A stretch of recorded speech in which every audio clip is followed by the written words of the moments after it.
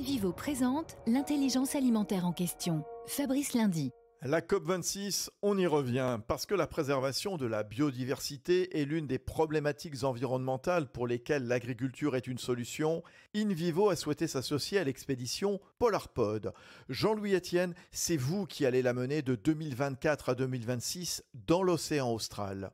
On va étudier l'océan qui est autour de l'Antarctique, qui est loin, difficile d'accès. C'est les fameux 50e hurlants. Et cet océan joue un rôle essentiel. C'est un acteur de la régulation climatique. Et deuxièmement, c'est une immense réserve de biodiversité marine que l'on ne connaît pas. L'agriculture me concerne. L'agriculture dans l'alimentation. J'ai fait dans mes études une spécialité de nutrition. Et deuxièmement, je suis très sensible, si vous voulez, à renouer, à faire une réconciliation entre la nature et l'agriculture. Et donc, j'ai écrit un livre là-dessus qui s'appelle aux arbres citoyennes, d'où cette association avec InVivo. Merci Jean-Louis Etienne. Union nationale des coopératives agricoles françaises, InVivo s'engage pour la transition agricole et alimentaire vers un agrosystème résilient.